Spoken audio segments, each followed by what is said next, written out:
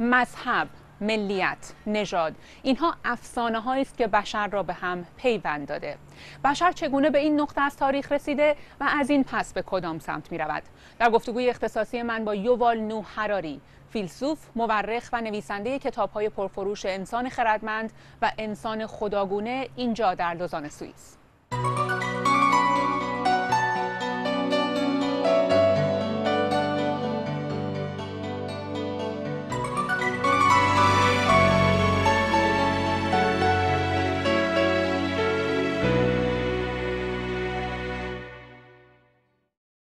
یووال نو هراری thank you so much یووال نو هراری ممنون از وقتی که به ما دادی شما میگی که بشر سه انقلاب رو از سر گذرونده تا به اینجا برسه درباره این سه انقلاب بگو Yeah, the first was a cognitive revolution about 70,000 years ago which transformed one human species, Homo sapiens, اولین انقلاب حدود هفتاد هزار سال پیش بود. یه انقلاب شناختی که انسان رو از حیوانی کم اهمیت به مهمترین گونه جانوری تبدیل کرد و ما رو به جایی رسوند که همه سیستم اکولوژیک رو تحت سلطه درآوردیم. انقلاب دوم انقلاب کشاورزی بود که ده هزار سال پیش به قدرت انسان افزود و بهش امکان داد که روستا، شهر، کشور و امپراتوری بسازه و بر سایر حیوانات و گیاهان چیره بشه. dominate uh, the other animals and plants.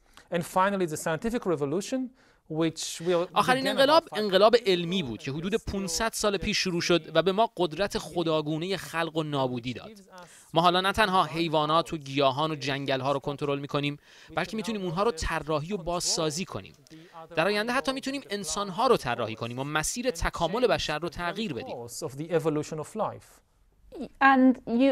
در بخشی از کتاب به قدرت افسانه پردازی به عنوان موضوعی که ما انسانها رو به هم پیوند داده پرداختی. Yeah, when we speak about the cognitive revolution 70,000 years ago, تا پیش از انقلاب شناختی انسان حیوانی کم اهمیت بود. ما تأثیر چندانی بر کره زمین نداشتیم. ما هم مثل شامپانزه ها و گوریل ها بودیم. حتی گونه های انسانی مختلفی وجود داشتن. الان تنها یک گونه انسان وجود داره. استرالیا، کانادا، ایران، اسرائیل همه جا فقط یک گونه انسان هست. اما هفتاد هزار سال پیش در مناطق مختلف جهان گونه های انسانی مختلف وجود داشت. اجداد ما فقط در آفریقا زندگی می کردن. اما مثلا در خاور میانه فقط نئاندرتال ها زندگی می کردن که گونه متفاوتی از انسان بودن. اما چیزی که باعث شد بشر بتونه بر کل جهان چیره بشه توانش در همکاری و سازماندهی در گروه های بزرگتره. ما تنها حیوانی هستیم که می‌تونیم با تعداد نامحدودی از انسانهای دیگه همکاری کنیم. روی یک پروژه برای ساخت یک شهر یا مثلا یک سفینه فضایی. این توانایی ناشی از دو ویژگی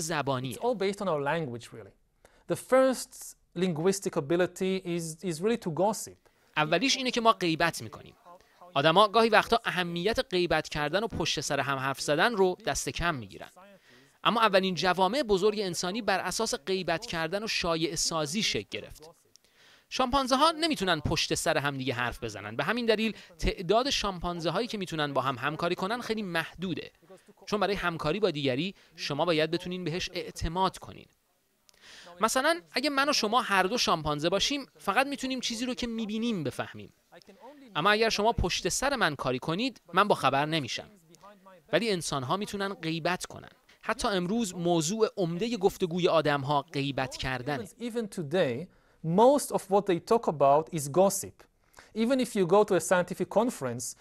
meet حتی وقتی به یک کنفرانس علمی میرید و فوق‌العاده ترین دانشمندان و مورخ‌ها رو می‌بینین بیشتر گفتگوهاشون درباره علم و تاریخ نیست بلکه حرف زدن درباره دیگرانه. مثلا اینکه فلان همکار فلان کار رو کرده. اما درباره دیگران حرف زدن هم محدودیت های خودش رو داره. با غیبت کردن شما فقط می‌تونین با چند صد نفر آشنا بشین. اما برای همکاری میلیونی آدمها به چیزی فراتر از غیبت نیاز دارن. به قصه و افسانه. علت اینکه بشر کنترل زمین رو به دست گرفت اینه که ما می‌تونیم قصه خلق کنیم و اونها رو منتشر کنیم و میلیون ها آدم رو راضی کنیم که این قصه ها رو باور کنن. مثلا قصه ادیان یا قصه پول. بدون پول اقتصاد مدرن وجود نداشت اما پول صرفا یک داستان تخیلیه. یک واقعیت عینی نیست. چند تیکه کاغذ رنگیه که ارزش عینی نداره قابل خوردن و آشامیدن نیست. اما بانک ها و مؤسسات مالی می‌تونن میلیاردها نفر رو قانع کنن که این یه تیکه کاغذ ارزش داره. مثلا به اندازه یک موز میارزه. اون وقتی که من می‌تونم این یه تیکه کاغذ رو ببرم بقالی و بدم با آدمی که تا حالا ندیدمش و باهاش معامله کنم. چون هر دوی ما این داستان تخیلی رو باور کردیم. شامپانزه ها نمی‌تونن این کارو بکنن. اونا گاهی با هم معامله می‌کنن. یکی به اون یکی موز میده و در عوض نارگیل می‌گیره. اما اگه یه تیکه کاغذ به شامپانزه بدین در عوض بهتون موز نمیده. اونا این داستان های تخیلی رو باور نمی‌کنن.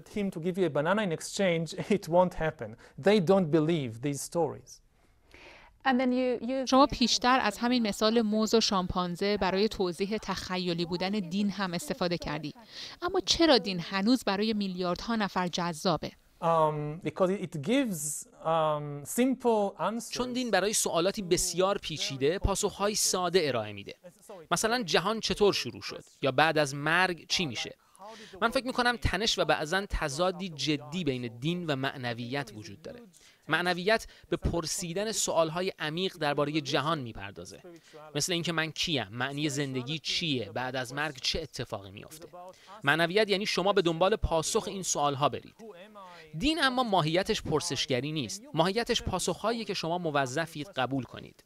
یک نفر یه قصه به شما میگه که ما اینطوری به وجود اومدیم و بعد از مرگ قرار این اتفاق بیفته این کار خوبه و این کار بد. شما هم باید این قصه رو در بس قبول کنید و سوالی نپرسید. به همین دلیل خیلی وقتها مذهب و معنویت در تضادن متاسفانه خیلی ترجیح میدن به جای رفتن در مسیر سخت و بعضا دردناک جستجوی حقیقت پاسخهای ساده بگیرن که به اونها اجازه پرسشگری نمیده.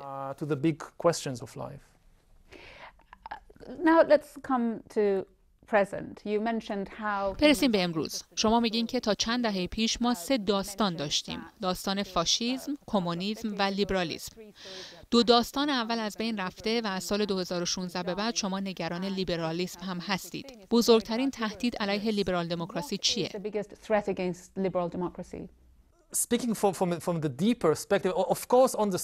در ظاهر شاهد روی کار اومدن حکومت عوامگرایانه در سراسر جهانی که لیبرال دموکراسی رو تضعیف می‌کنه اما تهدید جدیتر داخل آزمایشگاه هاست اختراعات جدید علمی، ظهور بیوتکنولوژی و هوش مصنوعی یعنی اینکه در آینده نزدیک می‌تونیم انسانها رو حک کنیم. حک کردن من یعنی کسی بجز من، مثلا یه شرکت یا یه حکومت، من رو از خودم بهتر می‌شناسه. امیال و علائق و احساسات من رو می‌فهمه و نه تنها می‌تونه تصمیم های من رو پیش بینی کنه بلکه می‌تونه امیال من رو دستکاری کنه و بیشتر و بیشتر به جای من تصمیم بگیره Now, to hack a human being to really understand what's happening in my mind برای هک کردن یک انسان و درک اینکه در مغزش چی میگذره سه چیز لازمه اطلاعات گسترده بیولوژیک، قدرت گسترده پردازش و میزان زیادی داده و اطلاعات. وقتی هر سه اینها رو داشته باشید می‌تونید انسان رو هک کنید و کامل کنترلش کنید. در گذشته هیچ کس هر سه اینها رو نداشت.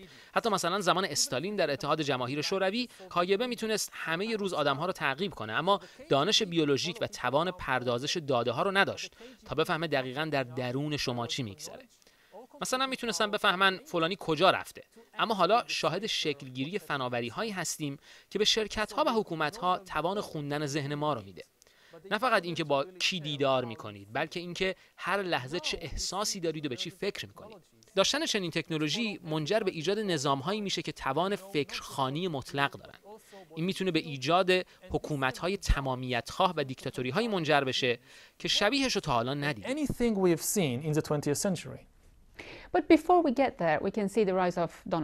اما قبل از اینکه به اون مرحله برسیم شاهد روی کار آمدن دونالد ترامپ رأی آوردن برگزیت و روی کار آمدن احزاب راستگرا در اروپا هستیم. علتش چیه؟ یکی از دلایلش اینه که مردم در اروپا و سایر کشورها دستاوردهای گذشته را فراموش کردند. علیرغم همه مشکلات امروز تعداد کسانی که از چاقی میمیرند بیشتر از مرگ و میر ناشی از گرسنگیه. تعداد کسایی که از بیماری های فراگیر میمیرند کمتر از کسایی که از پیری میمیرند. مرگ و میر ناشی از خشونت کمتر از تصادفاته. این اولین بار در تاریخ که چنین اتفاقی میافته. احتمال مرگ شما از پرخوری بیشتر از خشونته. این دستاورد بزرگ لیبرالیسمه که مردم دست کم می‌گیرن. But people now take it for granted. Like when they voted about Brexit, they took مثلا کسانی که به برگزیت رای دادن قدر صلح در اروپا رو نمی‌دونن. متوجه نیستن که اگه اتحادیه اروپا فرو بپاشه و هر کشوری ملی گراتر بشه و فقط به خودش فکر بکنه هیچ تضمینی نیست که جنگ به اروپا برنگرده. اروپا چند قرن درگیر جنگ بود و تنها در چند دهه اخیر و عمدتا به لطف اتحادیه اروپا شاهد صلح در این قاره بودیم. اما فراتر از اون یکی از مشکلات لیبرالیسم که منجر به موج عوامگرایی و افراطگرایی شده اینی که آدمها به درستی حس می‌کنن جا موندن. اینکه تکنولوژی های جدید مثل هوش مصنوعی و بیوتکنولوژی جهان جدیدی ایجاد کرده که عمدتا دست یک طبقه خاصه و منافعش هم به همون طبقه می‌رسه. آدم های بیشتر و بیشتری دارن جا میمونن و حتی توان درک اتفاقات دوروبرشون رو هم ندارن. جنگ اصلی در قرن بیستم علیه استثمار توسط صاحبان قدرت و سرمایه بود که منجر به تشکیل سوسیالیسم و سوسیال دموکراسی شد. در قرن 21 چالش اصلی مبارزه با استثمار نیست مبارزه با بیفایده شدن و بی ربط شدنه. در آینده آدمها و کشورهای بیشتری قدرت سیاسی و فایده اقتصادیشون رو از دست میدن. این اتفاق هم ممکنه در داخل جوامع بیفته هم بین کشورها But it can also happen between countries. In the 19th century, در قرن 19 رهبری انقلاب صنعتی در دست چند کشور مثل بریتانیا، آلمان و آمریکا بود. خیلی کشورها از جمله چین و هند و کشورهای خاورمیانه عقب موندن و در نتیجه استعمار و استثمار شدند. این اتفاق با ظهور هوش مصنوعی و بیوتکنولوژی ممکنه تکرار شه و کشورهایی که این بار عقب میمونن ممکنه کاملا برای جامعه جهانی بیفایده و بیمصرف بشن و شاهد نابرابری بی سابقه ای خواهیم بود. نظام لیبرال تا اینجای کار راه حلی ارائه نداده و مردم در سراسر دنیا حس می‌کنن قدرت و جایگاهشون رو دارن از دست میدن و در نتیجه به رهبران عوامگرایی رو میارن که راه حل‌های کوتاه مدت ارائه میدن. عوامگرایی یعنی یکی بیاد و مسئولیت بعضی از مشکلات رو به گردن یک یا چند گروه در جامعه بندازه. مثلا گردن مهاجرا، اقلیت‌های دینی یا همجنسگرایان. و وعده بده که اگه بهش قدرت بدن همه مشکلات رو حل کنه. اما وقتی رهبر عوامگرا به قدرت می‌رسه همه تمرکزش رو روی این می‌ذاره که تمام سازوکارهای نظارت بر قدرتش رو از بین ببره. چون واقعیت اینه که راه حل واقعی برای حل این مشکلات نداره. در عوض تلاش می‌کنه که هر چیزی که حافظ موازنه قدرت رو از بین ببره. برای همین به دادگاه های مستقل به روزنامه‌نگارها به دانشگاه ها حمله می‌کنه و تلاش می‌کنه که همه قدرت رو از آن خودش بکنه. این اتفاق در بسیاری از کشورها در حال وقوع.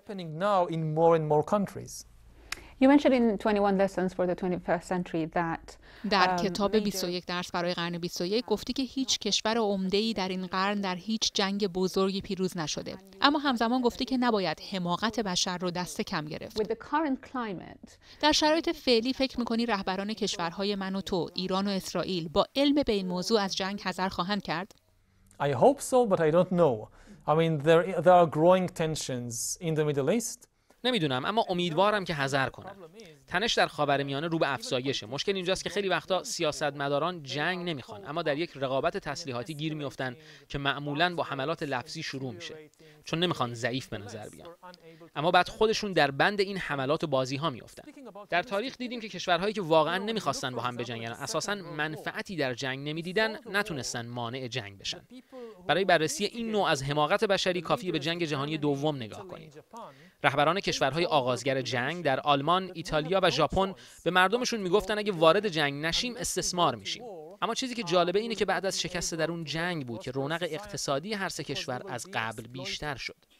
تصور اینکه جنگ منجر به رونق میشه یک دروغ و کچفهمی بزرگ بود. And I think it's also true today that there is very little to be gained امروز هم همینطوره. حتی پیروزی در جنگ هم منفعت چندانی نداره. چه برای ایران و چه برای اسرائیل اما آدما دارن در این دام میفتن که انتخابی جز جنگ و پیروزی در اون نداریم این واقعیت نداره اما متاسفانه خیلی از آدمها باور دارن که این واقعیته گاهی به نظر میاد که سیاستمدارا تهدیدها رو بزرگ نمایی می کنند. مثلا درباره خطر تروریسم قلوف می کنند. ایران و اسرائیل تهدیدی که از جانب کشور مقابل وجود داره رو بزرگ نمایی می کنند. چه فایده ای براشون داره؟ Um, in a situation when you feel threatened, there is less room to criticize the government. وقتی جوامع احساس خطر می‌کنن از حکومت ها کمتر انتقاد می‌کنن. چون در صورت انتقاد سریعا به خیانتکار بودن متهم میشن. مثلا میگن الان جنگه یا یه بحران ملیه و همه باید در کنار حکومت با هم متحد باشیم در طول تاریخ همین بوده. حتی مواقعی که تهدید واقعی وجود نداره رهبران یک تهدید مصنوعی ایجاد می‌کنن که موقعیت خودشون رو تثبیت کنن. ضمن اینکه زحمت حل کردن مشکلات واقعی جامعه رو هم لازم نیست بکشن leaders are manufacturing artificial threats because it strengthens their position at home. اگه جامعه ای دچار فساده و نظام خدمات بهداشتیش درست کار نمی‌کنه خب حل این مشکل خیلی سخته. اما کافیه به مردم بگین مشکل فساد یا خدمات بهداشتی رو فراموش کنید الان جنگ و دشمن لب مرزه. اون وقت بقیه مسائل رو فراموش می‌کنن. این ویژگی تاریخی به تکامل بشر برمیگرده. آسونترین راه برای جلب توجه مردم ترسوندن اونهاست اگه جوامع احساس کنن که بقاشون در خطر بقیه نیازها رو فراموش می‌کنن.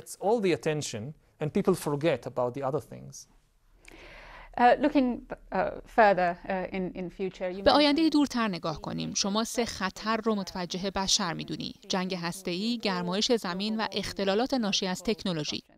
از جنگ هسته‌ای شروع کنیم. شما واقعا فکر می‌کنی که بشر انقدر احمقه که دوباره دکمه بمب هسته‌ای رو فشار بده؟ آیا ما فجایع ناشی از جنگ هسته‌ای رو فراموش کردیم؟ In a way, nuclear war is kind of, you know, the, the easiest problem to, to think about because at least everybody realizes the danger. در واقع جنگ هسته‌ای یکی از آسونترین مشکلات پیش روی بشره. چون دست کم همه متوجه خطرش هستن. اما مثلا درباره تغییرات اقلیمی مشکل اینه که عده‌ای هنوز قبولش ندارن. درباره جنگ هسته‌ای همه خطراتش رو می‌دونن. اما با این حال ممکنه طرف ضعیفتر دکمه رو فشار بده خصوصا اگه احساس کنه ممکنه در جنگ شکست بخوره. یا تندروهای مذهبی که فکر می‌کنن بعد از مرگ قراره به بهش برن و میلیون ها سال در بهش زندگی کنن. در نتیجه موقعیت هایی هست که ممکنه عده‌ای دکمه جنگ هسته‌ای رو بزنن. با وجود اینکه می‌دونن ممکنه این کار باعث پایان زندگی بشر بشه. In which we might see nuclear war even though everybody knows it's really the end of, of humankind. درباره گرمایش زمین شاهد رهبرانی مثل دونالد ترامپ هستیم که از توافق پاریس خارج شد و دیگر سیاستمدارانی که به گرمایش زمین اعتقاد ندارند. درباره اونها چی کار باید کرد؟ باید سیاستمدارای دیگه ای انتخاب کنیم البته اگه بشه. In some places and increase public pressure through education through media coverage راه حلش افزایش فشار افکار عمومی به سیاستمدارانه از طریق آموزش، کار رسانه‌ای و آگاهی بخشی به مردم درباره اینکه این یک تهدید جدیه. در همین لحظه در حال وقوع و تأثیرش بر زندگی آدمها می‌تونه بسیار مخرب باشه. could be disastrous uh, in, in many different ways. به اشکال گوناگون کسایی که در سواحل زندگی می‌کنند شاهد بالا اومدن سطح دریاها خواهند بود. تغییر آب و هوا بر کشاورزی تاثیر خواهد گذاشت. گسترش بیماری ها بلایای طبیعی اینها بر زندگی میلیون ها آدم در سرتاسر سر جهان تاثیر خواهد گذاشت. تروریسم تعداد محدودی آدم می‌کشه. اما خیلی از حکومت ها میلیون ها نفر ازش میترسن and you have all the government and millions of people terrified from it. Climate change تغییرات اقلیمی اما می‌تونه میلیون ها و میلیون ها نفر رو بکشه. ما باید در فهرست مشکلاتمون تغییرات اقلیمی رو خیلی بالاتر از تروریسم بذاریم. متاسفانه تروریسم برای جلب توجه انسان جذابتره چون 95 درصد شبیه تئاتره یه جور نمایش خشونت برای جلب توجه مردم متاسفانه رسانه ها هم همکاری می‌کنن چون فروختن روزنامه‌ای که تیترش حمله تروریستیه آسونتر از فروختن روزنامه‌ای که تیترش مثلا میگه تحقیقات نشون میده گرمایش زمین فلان و بهمان. البته ما سعی خودمون رو می‌کنیم.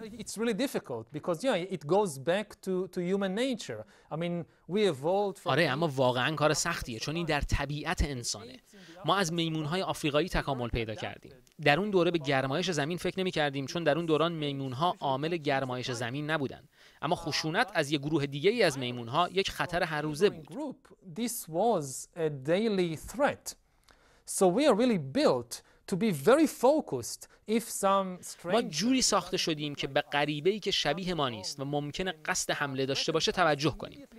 اما ساخته نشدیم که متوجه تغییرات اقلیمی باشیم و اقدامی براش بکنیم چون هیچ چیز در فرایند تکامل ما را برای این موقعیتی که امروز با اون روبرو هستیم آماده نکرده. اینکه ما در حال تغییر دادن اقلیم و سیستم اکولوژیک جهانیم.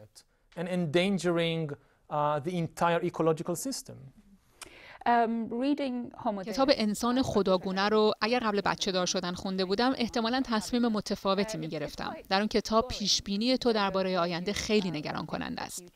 ما نسل بعدی رو که سی سال دیگه در 2050 قرار زندگی کنه چطور می‌تونیم برای اون زمان آماده کنیم؟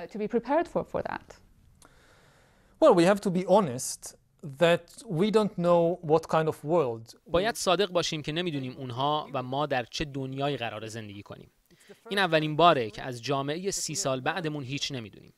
در گذشته نمی‌شد آینده سیاسی رو پیش بینی کرد که مثلا کی شاه میشه ولی می‌شد چیزهایی مثل اقتصاد، بازار کار و مهارت هایی که انسان به اون نیاز داشت رو پیش بینی کرد. Then you knew that okay whoever is king in 30 years مثلا اگه هزار سال پیش در ایران زندگی می‌کردین می‌تونستین حدس بزنین که سی سال بعد فارغ از اینکه کی پادشاه باشه اکثر مردم کشاورز یا چوپانه. و بهتره به بچم یاد بدم چطوری گندم بکاره نون بپزه یا سواری کنه. اما الان هیچ تصوری نداریم که بازار کار در سال 2050 چه شکلی خواهد بود. فقط می‌دونیم که با امروز خیلی فرق خواهد داشت و پرتلاطم خواهد بود. علتش هم تأثیر روزافزون هوش مصنوعی و بیوتکنولوژیه که باعث میشه بازار کار به سرعت تغییر کنه. یه چیزی که قطعا برای نسل جوان واجبه توان یادگیری و باز تعریف خودشون در طول زندگیشونه و اینکه آماده تغییر حرفه باشن. من معتقدم ما امروز نباید بر آموزش مهارت ها تمرکز کنیم بلکه باید انعطاف پذیری فکری رو آموزش بدیم. نباید بر آموزش مثلا ریاضی زبان چینی یا برنامه نویسی متمرکز بشیم. باید شخصیت هایی تربیت کنیم که انعطاف پذیر باشن و آماده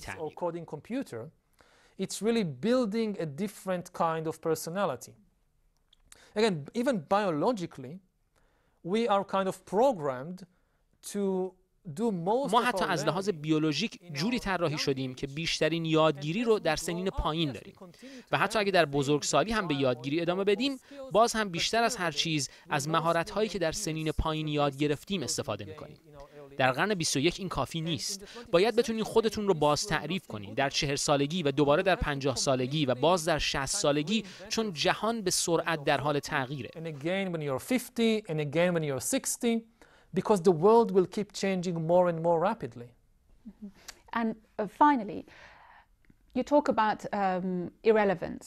در پایان شما به بی مصرف شدن می‌پردازی. اینکه یک طبقه اجتماعی بی مصرف به وجود خواهد اومد و احتمالا در پی گسترش هوش مصنوعی و فناوری میلیاردها نفر بی مصرف میشن. درباره اونها چی باید کرد؟ Um, the, it's not that there won't be any jobs. There will be a lot of new jobs. The two problems are that people will need to retrain themselves. اینطور نیست که هیچ شغلی وجود نخواهد داشت. خیلی مشاغل جدید ایجاد خواهد شد. اما آدم ها باید دوباره آموزش ببینن و این نیازمند سرمایه گذاری اساسی آدم ها حکومت هاست.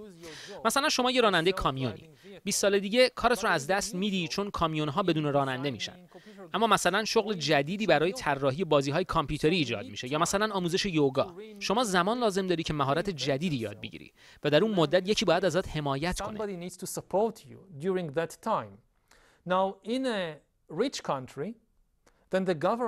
در کشورهای ثروتمند دولت ها وارد میشن و از مردم در این دوران سخت انتقال حمایت می‌کنن. اما در کشورهای فقیر ممکنه دولت توان مالی این کار رو نداشته باشه. ما باید یک زیرساخت کاملا جدید آموزشی ایجاد کنیم تا به آدم ها کمک کنه که در طول زندگی مرتب آموزش ببینن و تغییر کنن. بعضی کشورها ممکنه بتونن این کارو بکنن بقیه نه و این کشورها کاملا فرو میپاشن and these countries face complete collapse. In the 20th century, the poor countries در قرن بیستم کشورهای فقیر اگه منابع طبیعی مثل نفت و گاز نداشتن تنها منبعشون نیروی کار ارزان قیمت بود اما اتوماسیون به این معنیه که این نیروی کار ارزان قیمت بی مصرف میشه برای همین آدم ها باید مهارت های جدید یاد بگیرن. اما کشورهای فقیر توان مالی این تغییر در ساختار آموزشیشون رو ندارن. من خیلی نگران کشورهایی مثل کانادا، سوئیس یا آمریکا نیستم. اونا از انقلاب هوش مصنوعی خیلی هم سود می‌برن و به موقع مردمشون رو آموزش میدن. اما خیلی از کشورهای جهان در آفریقا و خاورمیانه و آمریکای لاتین در پی انقلاب تکنولوژیک اندک داشته هاشون رو از دست میدن و توان بازآموزی به موقع نیروی کارشون رو هم ندارن. در نتیجه ممکنه کاملا فرو بپاشن. مگه اینکه یه شبکه جهانی حمایتی ایجاد بشه که ثروت ناشی از تکنولوژی رو بین همه کشورها توزیع کنه در غیر این صورت شاهد افزایش شدید نابرابری خواهیم بود اینکه بعضی از کشورها به مراتب ثروتمندتر میشن و سایر کشورها کاملا فرو میپاشن و قدرت سیاسی و اقتصادیشون رو از دست میدن and other countries completely collapse and lose all their economic and political power. Thank you very much, Yuval Noah Harari. Thank you so much for your time. Thank you.